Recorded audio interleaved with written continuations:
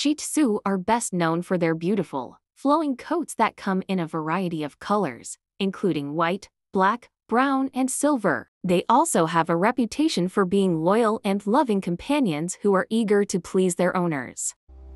Hey everyone! Welcome to Animal Side, your source for all things animal related. If you're new to my channel, please make sure to subscribe and hit the bell notification button so you don't miss out on any new content.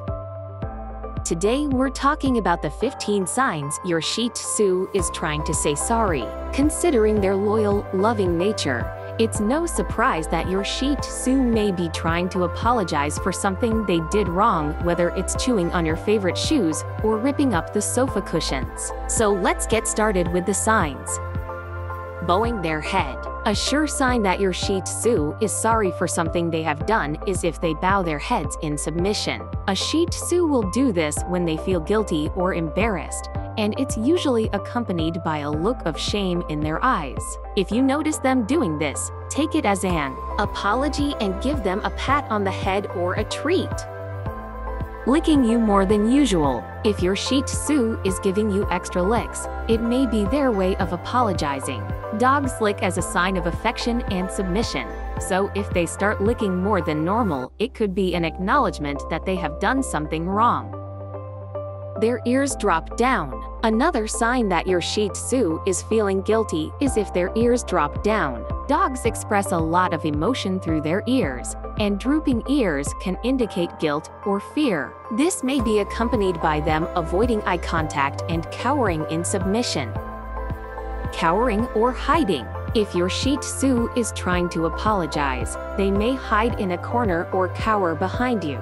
This is their way of expressing guilt and seeking protection from the consequences of their actions.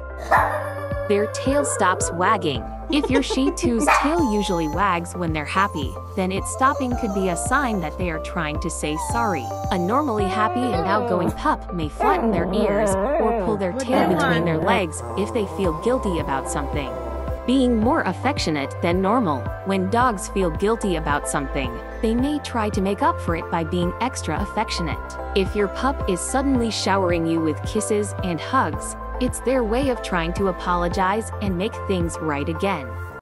Their eyes look wider. Your Shih Tzu eyes can also tell you whether they're feeling guilty. A dog's eyes may look wider and more round when they feel embarrassed or ashamed of something they did wrong. Rub their face on yours. Another sign that your pup is trying to apologize is if they rub their face against yours, or even just nuzzle up against you. This could be their way of saying sorry and asking for forgiveness. Whimpering. Whimpering is a sign that your pup is feeling guilty or scared. If they start to whimper after they've done something wrong, it's likely because they know they have disappointed you and are seeking comfort from the consequences. Sad expression. Your Shih Tzu's expression can tell you a lot about how they're feeling. If they look sad or have a downcast look on their face, they may be trying to apologize for something they have done wrong. Sitting quietly in the corner. If your pup is sitting quietly and not moving, it could be because they feel guilty about something they did. They may be hoping that if they just sit still and stay out of trouble, you will forgive them for their mistake pawing at you. If your Shih Tzu is pawing at you or licking your hands, it could be their way of saying sorry and seeking forgiveness. This is a sign that your pup knows they did something wrong and are trying to make up for it.